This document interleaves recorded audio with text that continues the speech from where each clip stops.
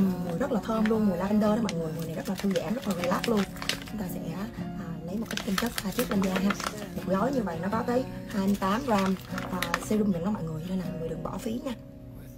Đừng bỏ phí một giọt serum nữa hết. Ừ. Và trong cái bảng thành phần thì Vân Anh đã check rồi á thì hương liệu nó chỉ nằm ở cuối cùng thôi. Nên là rất là ít luôn. Mọi người không lo là hương liệu sẽ làm cho mình kích ứng nha. Ừ trong tất cả các hợp chất gì ở đây thì mình đã chất hết rồi. Cái nào cũng rất là an toàn hết. Chúng ta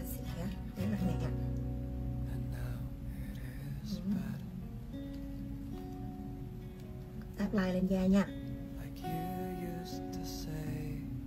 Ừ, ừ, rất là mát luôn. Cảm giác mát lạnh luôn á mọi người. Ừ. chúng ta sẽ cân chỉnh cho phù hợp với làn da của mình và cái khuôn mặt của mình và cái mặt nạ đèn My Bamboo Mask thì nó cũng có một khả năng đó là uh, ôm khít bám dính trên da mình rất là chặt luôn là mọi người sẽ không lo nó sẽ rơi rớt như những loại mặt nạ giấy thông thường ha. Chúng ta có thể nằm thư giãn hoặc là um, làm việc nhà hoạt động thoải mái mà không lo mặt nạ rơi rớt cho mọi người.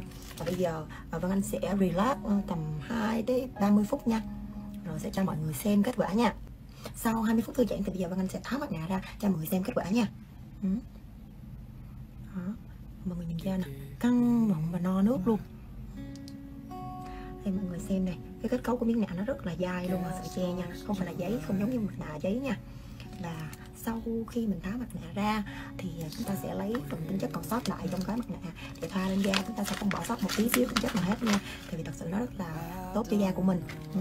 Một à, gói mặt nạ như vậy là 28 gram thì nó tương đương với một à, lọ serum luôn đó mọi người.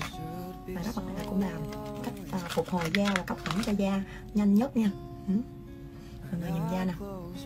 Căng mọng, no nước luôn. Rất là thích luôn á mọi người. Ừ chúng ta sẽ massage một chút xíu cho tính chất thẩm thấu vào da. À, không cần rửa mặt lại với nước đâu nha mọi người. Ừ. Ừ, da căng mịn tươi sáng như vậy rất là thích luôn. Mọi người nhớ duy trì hàng tuần đắp à, ít nhất 2 tới ba lần ha. À, để giúp da mình nó luôn được à, ẩm mượt như thế này nha.